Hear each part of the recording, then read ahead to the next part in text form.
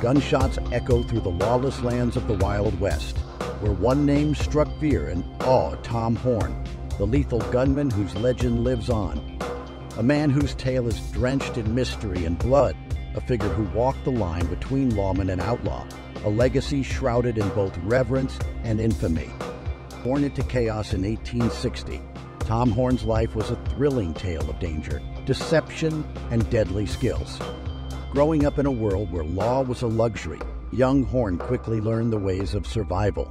His sharpshooting skills and tracking abilities made him a formidable presence, even at a young age.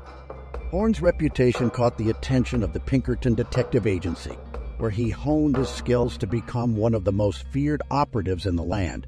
His assignments were often shrouded in secrecy, veiled under the guise of justice. However, it was his involvement in the bloody Johnson County War that turned Horn into a legend. As a hired gunman, Horn was in the thick of one of the most brutal range wars in the history of the Wild West. The war was a turning point. The once revered lawman's image began to tarnish.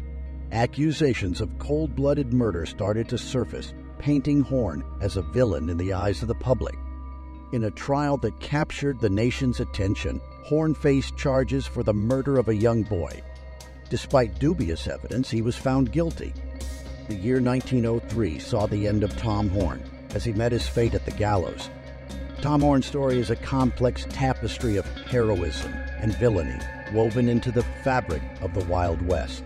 Was he a cold blooded killer or a scapegoat in a lawless land? His tale, rife with twists and turns, remains an enigmatic chapter in the annals of American history a narrative that continues to stir the imagination and provoke debate.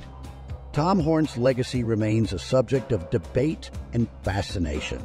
His life, etched into the annals of Wild West history, continues to captivate those who seek tales of intrigue and defiance. Thank you for watching. If you want us to do a full story on Tom Horn, please let us know.